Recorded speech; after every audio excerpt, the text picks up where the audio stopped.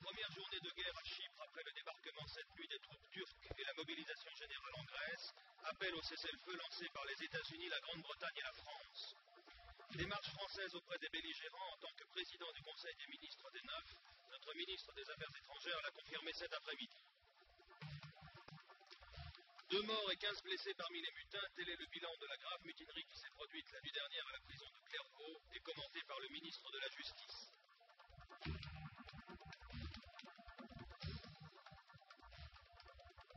À l'issue de l'avant-dernière étape du Tour de France, Poulidor remporte la deuxième place au classement général, à la tête duquel se trouve toujours Eddy Merckx.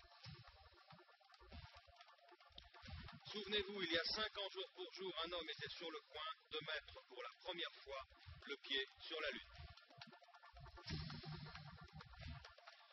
Mesdames, Mesdemoiselles, Messieurs, bonsoir. La nuit tombe ce soir sur Chypre après une première journée de guerre. Depuis 4 heures du matin, la situation n'a cessé d'empirer jusqu'à la fin de cet après-midi où l'on annonçait que les forces de l'ONU avaient réussi à obtenir un cessez-le-feu au demeurant fort limité.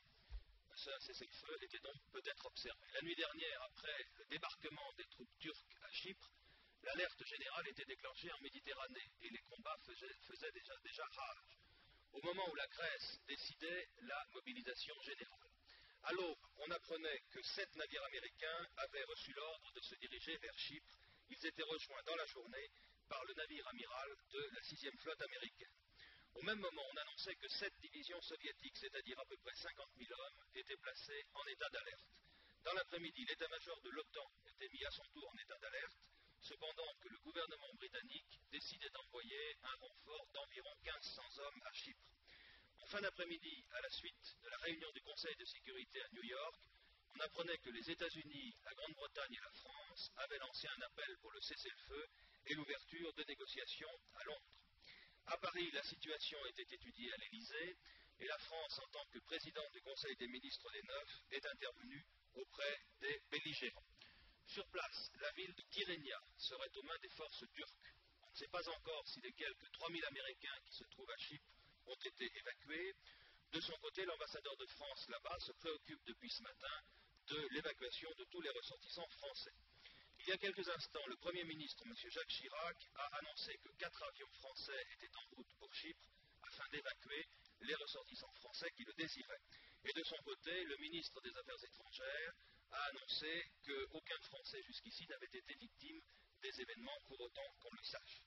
Aucune image des combats ne nous est encore parvenue et les informations sont trop fragmentaires pour qu'on puisse avoir une idée des victimes. Mais voyons tirer, de Citibo maintenant le fil des événements depuis le début. Si vous voulez, les forces turques ont débarqué ce matin à 4 heures de Paris sur deux axes au nord de l'île de Chypre, tandis que les parachutistes étaient lâchés dans les environs de Nicosie et dans les quartiers turcs de Nicosie. Parallèlement, des bombardements aériens assez violents ont eu lieu sur l'axe Kyrenia-Nicosie.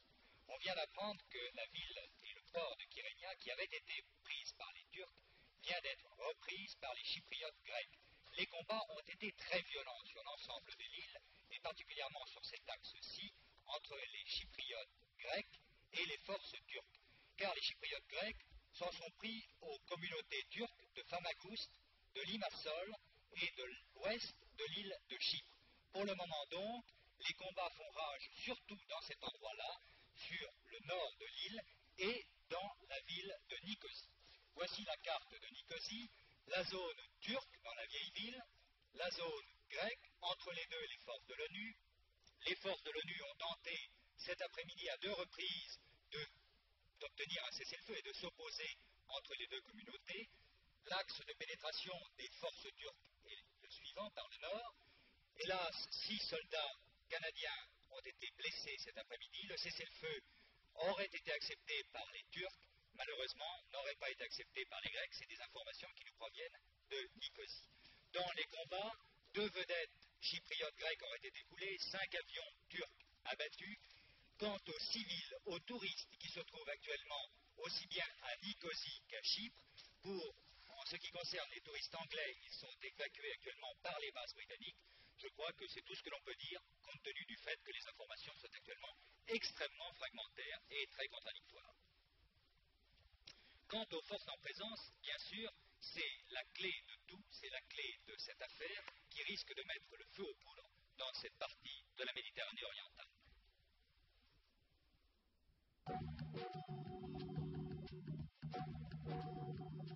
À Chypre même. La garde nationale, l'armée cypriote compte près de 10 000 soldats auxquels il faut ajouter la police, environ 3 000 hommes. 13 000 combattants donc, qui pourraient être rejoints par une partie de la communauté grecque. Ceux-là même qui manifestaient contre Monseigneur Macarios avant le coup d'État. Mais la crise qui éclate aujourd'hui existait à l'état latent depuis des années. C'est pourquoi, sur le territoire même de l'île, on retrouve des contingents de presque toutes les puissances concernées par les derniers événements. Des Grecs, sont 950 qui encadrent la garde nationale. Pour la plupart des officiers bien entraînés, ils connaissent toutes les tactiques de la guerre moderne.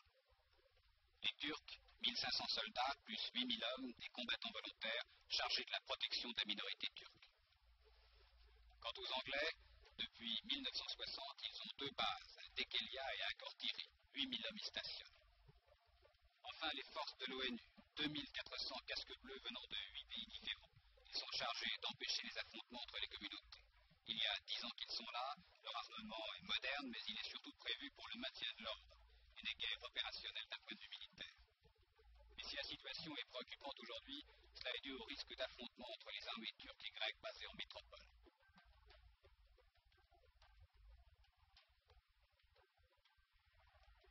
Forte de 170 000 hommes, l'armée grecque est connue pour sa discipline et sa valeur militaire.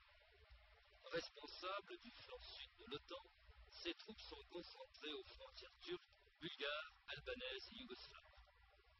L'armée grecque comprend une division blindée, 11 divisions d'infanterie, 12 bataillons d'infanterie légère et une brigade de commando. Puissamment armée par les États-Unis de blindés, d'artillerie et de fusées, la Grèce essaie néanmoins de diversifier ses sources d'approvisionnement. C'est ainsi qu'après s'être dotée de blindés français AMX-30, la Grèce a commandé en juin dernier pour son aviation, jusqu'à maintenant équipée de chasseurs américains, une cinquantaine de Mirage F-1. L'aviation grecque compte à l'heure actuelle en tout un peu plus de 200 avions de combat. Sa marine, numériquement faible, comprend trois sous-marins et huit destroyers. La Grèce vient d'acheter cinq frégates d'escorte d'un modèle assez récent. La marine compte également un assez grand nombre de navires de débarquement, une quinzaine de torpilleurs et quatre vedettes rapides équipées de fusées Exocet. La Turquie dispose de l'une des armées les plus puissantes du pacte atlantique. Près de 500 000 hommes servent sous les drapeaux. Engagé en Corée, le corps expéditionnaire turc avait forcé l'admiration du général MacArthur. L'armée turque comprend aujourd'hui une division blindée, une division mécanisée, 11 divisions d'infanterie, 12 brigades de blindés et un bataillon de parachutistes. Elle est essentiellement équipée de matériel américain ultramoderne. Comme les pilotes turcs, formés dans le cadre du pacte atlantique, sont aux commandes des chasseurs américains les plus avancés, comme les derniers modèles du Phantom. L'aviation turque compte actuellement plus de 300 avions de combat. Numériquement supérieure à la marine de guerre grecque, la flotte turque compte 10 sous-marins, une dizaine de destroyers, autant de torpilleurs et une quinzaine de vedettes rapides équipées de fusées mer-mer. Le nombre de ces navires de débarquement est comparable à ceux dont dispose la Grèce, ce qui est capital dans l'éventualité d'une intervention dans l'île de Chypre. Et bien sûr, les grandes puissances ne restent pas indifférentes. La sixième flotte, qui vogue vers Chypre, dispose de 40 navires de surface, dont deux porte-avions de combat et trois sous-marins. 21 000 hommes sont à son bord, et ce qui rend la situation encore plus ambiguë est la dépasse en même temps en Grèce et en Turquie. Les Russes.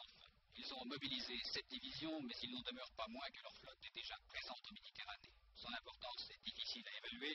On pense qu'elle comprend une vingtaine de navires, dont un porte-hélicoptère et une demi-douzaine de sous-marins.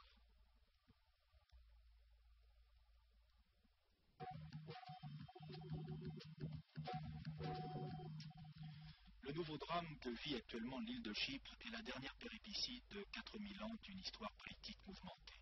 Chypre, c'est à la fois la Grèce et la Turquie, c'est encore l'Occident et déjà l'Orient, le XXe siècle et l'Antiquité. Avec une superficie équivalente à deux départements français, peuplés de 650 000 habitants, Chypre est l'objet de convoitises dont la principale raison est sa situation stratégique. Assyriens, Perses, Romains, Grecs, les croisés français, les Vénitiens, les Turcs ont été tour à tour les bâtisseurs de cette île dont le nom signifie cuivre en raison de mines connues dès la plus haute antiquité. Après trois siècles de domination ottomane, Chypre est alors endormie jusqu'en 1860. Le percement du canal de Suez lui rend alors toute son importance dans le contexte méditerranéen. Mais, en vertu d'un accord signé entre la Grande-Bretagne et la Turquie, l'île passe sous contrôle britannique. Les Anglais veulent en faire une base de protection de la Turquie contre une éventuelle attaque russe. Après la guerre de 14-18, l'Angleterre offre Chypre à la Grèce, mais celle-ci refuse afin de préserver sa neutralité. Chypre reste donc anglaise. Les Chypriotes sont profondément déçus. Ils espéraient que la fin de la domination ottomane marquerait leur attachement à la Grèce. Alors naît un mouvement politique, l'Enosis, qui réclame un gouvernement autonome, puis l'autodétermination et enfin le rattachement à la Grèce. 1950, Monseigneur Makarios est élu chef religieux et politique de l'île. Le colonel d'armée grec Privas met sur pied l'organisation terroriste EOKA et entame une lutte de quatre ans contre les Anglais qui déportent Monseigneur Makarios aux Seychelles. La situation devient dramatique. Les deux communautés chypriotes s'affrontent. Ankara se refuse à abandonner la minorité turque et réclame l'île pour le cas où l'Angleterre la quitterait. L'EOK intensifie sa campagne terroriste. Londres envoie 4000 parachutistes à Chypre. 1959. Londres, Athènes et Ankara parviennent enfin à un accord. Makarios est élu président, l'indépendance est proclamée le 16 août 1960. Un an plus tard, Makarios veut intégrer les forces grecques et turques de la République. Les Turcs s'y opposent. Chypre s'enflamme à nouveau pour trois ans. 1964, le Conseil de sécurité de l'ONU autorise l'envoi de casques bleus pour maintenir l'ordre dans l'île. Depuis, la situation se détériore pour Monseigneur Makarios. La majorité de la population réclame le rattachement à la Grèce pour des raisons économiques. En février 1972, Athènes adresse une mise en demeure à Nicosie afin que soient écartés du pouvoir les ministres hostiles au régime des colonels d'Athènes.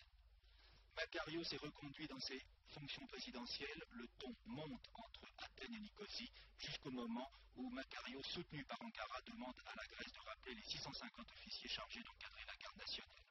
Tout ceci sous l'œil vigilant des deux super grands qui ont toujours attaché un intérêt capital dans cette région méditerranéenne.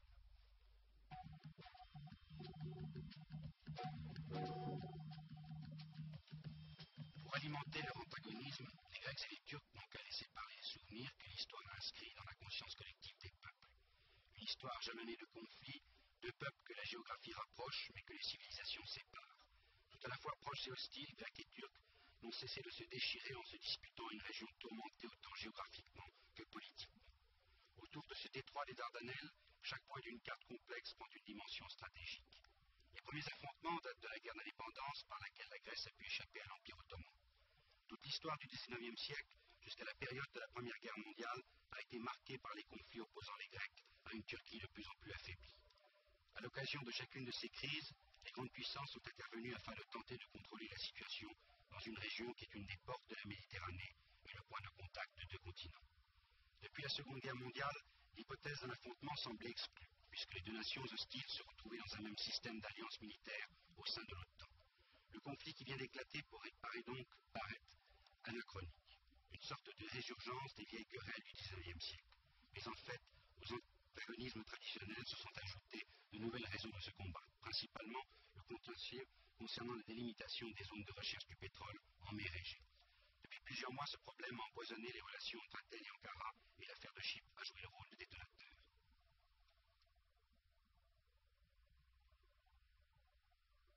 Tant d'intérêts économiques, politiques et militaires sont en jeu dans cette affaire de Chypre. Cette partie du monde est déjà si sensibilisée par le conflit du Proche-Orient qu'il ne faut pas s'étonner que tout le bassin méditerranéen, l'Europe, l'Union soviétique et même les États-Unis en subissent les contre-coups. L'Union soviétique n'a pas fait connaître officiellement sa position, mais elle réclame toujours le départ du contingent grec de Chypre, entendez par là donc les 650 officiers de la garde nationale, et le retour à l'ordre démocratique. À Washington, on cache mal une certaine déception devant l'échec de sa diplomatie visant à dissuader les Turcs d'intervenir. Le sous-secrétaire d'État américain, M. Joseph Sisko, fait le va-et-vient entre Athènes et Ankara pour tenter de trouver une solution de compromis. M. Kissinger tente, lui, pour le moment, une action avec les Britanniques. À ce sujet, on vient d'apprendre que les États-Unis espèrent qu'un cessez-le-feu sera conclu rapidement à Chypre et que des négociations pourront s'engager à Londres. La Grèce a déjà accepté ce cessez-le-feu, a précisé M. Kissinger. À Londres, on se montre extrêmement préoccupé. La Grande-Bretagne, garante de l'indépendance de Chypre, a convié les Grecs et les Turcs à venir discuter à Londres. Les positions britanniques est évidemment fort délicate et à ce sujet, M. Calhan, le ministre des Affaires étrangères, vient de décréter qu'une guerre totale entre les Grecs et les Turcs n'était pas à exclure. La Grande-Bretagne possède des bases à Chypre et 800 de ses hommes servent actuellement sous les casques bleus. Aux Nations Unies, ce fut l'échec hier soir de la deuxième réunion du Conseil de sécurité à laquelle assistait Monseigneur Makarios. Celui-ci a réclamé le départ des officiers grecs de l'île et a condamné la politique turque. Une autre réunion devait avoir lieu cet après-midi. Elle a été repoussée à 20h30 ce soir, heure de Paris, car des consultations se poursuivent entre les diverses délégations. On s'attend bien sûr à un appel au cessez-le-feu qui serait proposé par les États-Unis, la France et la Grande-Bretagne. À Bruxelles, au quartier général de l'OTAN, qui a été placé en état d'alerte, un nouveau conseil extraordinaire de l'OTAN s'est réuni sans qu'une décision ait été prise. Le secrétaire général, M. Lunz, qui considère la situation comme extrêmement grave, a envoyé des messages personnels au gouvernement grec et turc. Il lui faut absolument désamorcer la crise entre deux membres importants de l'OTAN avant que cette crise dégénère. La France et l'Europe ont multiplié les initiatives diplomatiques. Le président de la République, M. Valéry Giscard d'Estaing, s'est fait tenir au courant heure par heure de l'évolution de la situation. La France, qui préside le Conseil des ministres des Neuf, s'est exprimée cet après-midi par la voix de son ministre des Affaires étrangères, M. Slovagna. Ce matin, nous avons estimé nécessaire de réunir à nouveau les neuf, plus exactement, d'arrêter les termes d'une nouvelle démarche qui, ce matin, devait être limitée à un appui donné à l'initiative britannique. Vous savez que le gouvernement britannique avait invité le gouvernement grec et le gouvernement turc à participer à Lyon à une consultation urgente. Notre première idée a donc été qu'il fallait que l'Europe des Neuf tout entière appuie cette suggestion qui nous paraît extrêmement utile. Si l'on veut en effet éviter l'engrenage de la violence, il est nécessaire que les trois puissances garantes se réunissent pour trouver une solution politique. Euh, constatant euh, dans le cours de la matinée que les choses s'aggravaient, euh, nous avons été un peu plus loin et nous demandons, et c'est là le sens de la démarche, que l'Europe des Neuf vient de faire auprès des deux capitales intéressées, c'est-à-dire auprès d'Athènes et d'Ankara, nous disons à la fois que nous recommandons l'acceptation de l'invitation britannique, deuxièmement que nous invitons toutes les parties intéressées à mettre un terme à l'escalade de la violence, à arrêter toute opération militaire et également à s'abstenir de toute intervention militaire de grande échelle. Je voudrais souligner que le poids de l'Europe des Neuf dans le dénouement de cette crise ne doit pas non plus être sous-estimé. Nous sommes, euh, nous les Neuf, liés par des accords d'association, vous le savez, depuis dix ans, par la Grèce et la Turquie. Et bien sûr, il s'agit d'un aspect nous n'avons encore, pas encore parlé avec les Neuf, mais enfin, l'appel très insistant que nous adressons aux parties en cause euh, doit, doit les amener, je suppose, à réfléchir sérieusement à ce qui pourrait se passer si notre appel n'était pas entendu.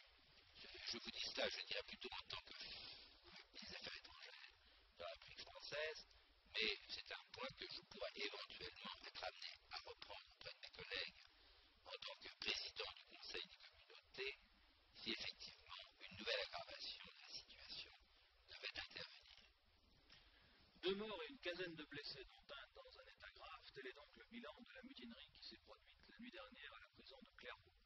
C'est à la suite d'un incident mineur survenu entre détenus hier soir que 400 d'entre eux se sont mutinés avant de mettre le feu et de détruire complètement une partie de la prison.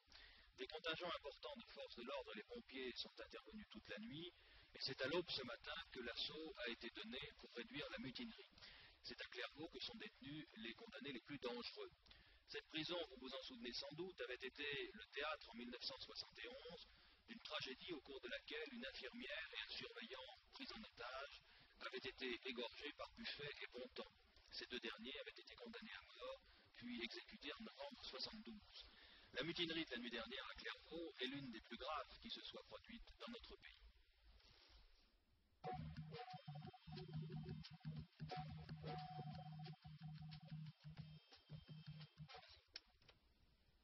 Les détenus ont tous regagné leurs cellules après une nuit d'émeute, certains très excités, d'autres très amers.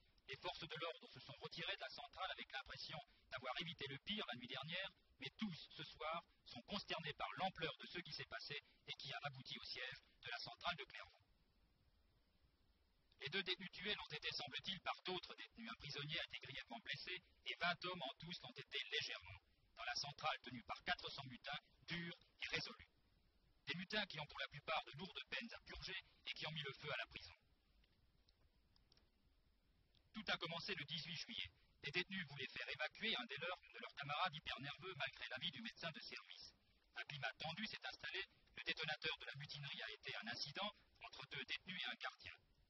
Les deux prisonniers ont été sanctionnés et vendredi matin, 70 détenus demandaient la levée de la punition, ce qui leur a été refusé. Peu après, c'était le début de l'émeute. Un hélicoptère a lancé des grenades lacrymogènes sur les mutins qui occupaient les toits de la maison armée de tranchées, de bâtons et même de haches. Ils ont incendié des ateliers, pillé des cuisines et ils se sont battus entre eux.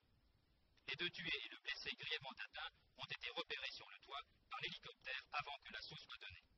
Ce nouveau drame de Clairvaux remet au jour cruellement le problème des prisons. M. Jean Le Canuet, garde des Sceaux, donne la position du gouvernement.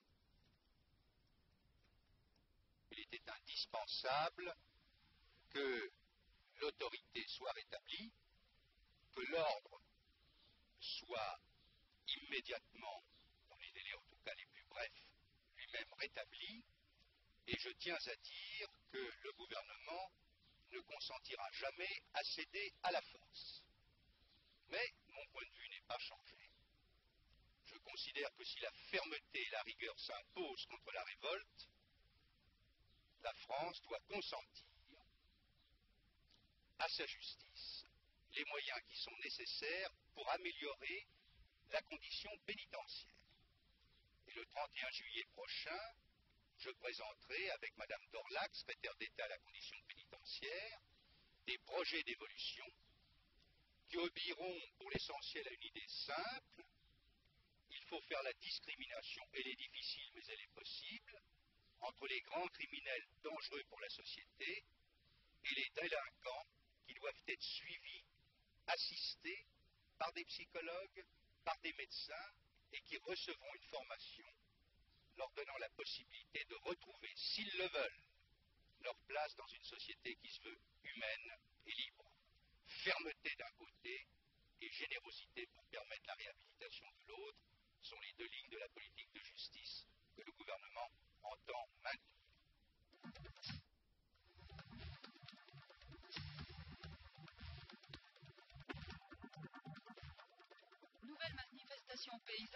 Plusieurs régions de France. Dans la Mayenne et la Creuse, les paysans ont organisé des ventes sauvages de leur viande au prix de 12 francs le kilo, rémunération qu'ils estiment comme prix de revient.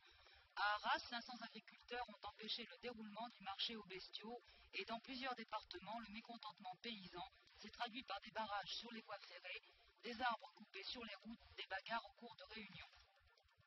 Au cours d'un entretien avec France Inter à l'hôtel Matignon, M. Chirac a déclaré à propos des manifestations paysannes oui, lorsqu'elles sont légitimes et permettent aux paysans d'exposer leurs préoccupations, non à la violence lorsqu'elles dégénèrent et mettent l'ordre en cause. Les préfets des différentes régions ont d'ailleurs reçu des instructions pour maintenir et rétablir l'ordre. Au cours de ce même entretien, M. Chirac a confirmé qu'il n'y aurait pas de modification à l'ordre du jour de la session parlementaire extraordinaire convoquée pour l'ORTF comme l'avaient demandé les partis de gauche. Rédactrice en chef du journal inattendu de RTL, Mme Françoise Giroud, nouveau secrétaire d'État à la condition féminine, a fait part aujourd'hui de ses nouveaux projets. Interdire la discrimination raciale dans les offres d'emploi par la mention de discrimination de sexe. Suggérer aux hommes l'an prochain de demander à leurs femmes de signer avec eux leur déclaration de revenus. instituer un congé de paternité après la naissance d'un enfant, proposer la nomination d'une médiatrice qui offrirait aux femmes un recours pour être protégées contre toute injustice.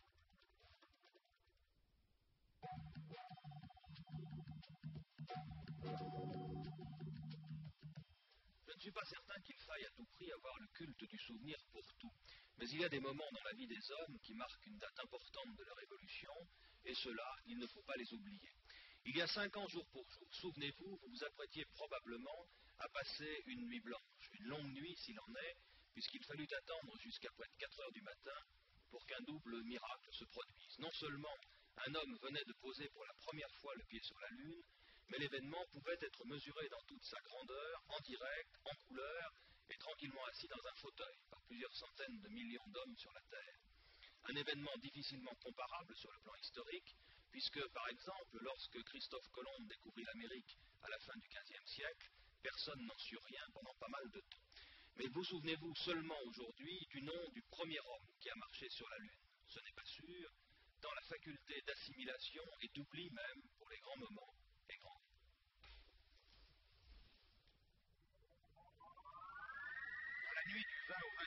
21 juillet 1969, il y a cinq ans, vous avez sans doute entendu ces mots venus de la Lune. C'est un petit pas pour un homme, un bond de géant pour l'humanité. Trois hommes accomplissaient une mission historique. Michael Collins, un aviateur de 38 ans, pilote de la cabine. Edwin Buzz Aldrin, 39 ans, colonel de la Air Force, commandant Oslo. Neil Armstrong, 37 ans, pilote d'essai civil, commandant Ces trois hommes avaient décollé le 14 juillet précédent pour réaliser le pari qu'avait lancé en 1962 le président Kennedy. Avant dix ans, les États-Unis déposeront un homme sur la Lune et le ramèneront vivant sur Terre. Le vol fut sans histoire, mais sur Terre, des centaines de millions d'hommes se passionnaient pour cette aventure exceptionnelle.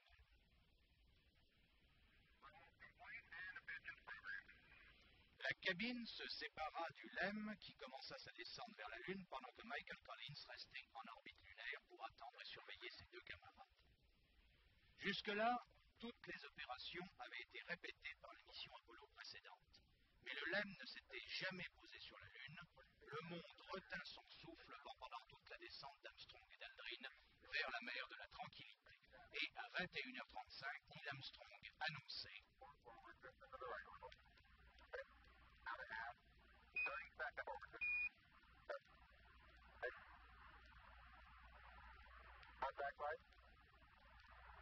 Contact. Moteur coupé. Ici la base de la tranquillité. L'aigle s'est posé. Trois heures durant, les deux astronautes allaient travailler sur la Lune, recueillir des échantillons géologiques, déposer les éléments d'un laboratoire.